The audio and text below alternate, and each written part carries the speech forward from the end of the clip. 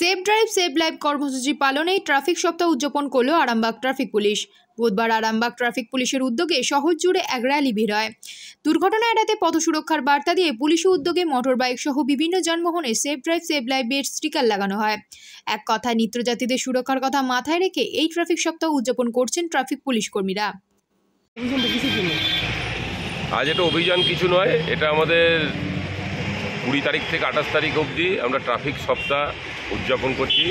এই হিসাবেই আমাদের আজ একটা পরিকল্পনা রাখা হয়েছে যে আমরা যাতে সেফ লাইফ সেফ ড্রাইভের প্রচার চালানোর জন্য সমস্ত রামপুরহাট এই আরামবাগের যারা আমাদের টিজিতে আছে তাদেরকে নিয়ে একটা প্রোগ্রাম করেছি এবং এটাতে আমরা টাউনের টোটালটা ঘুরে সবারই মধ্যে প্রচার করতে চাইছি যাতে মানুষ হেলমেট করে।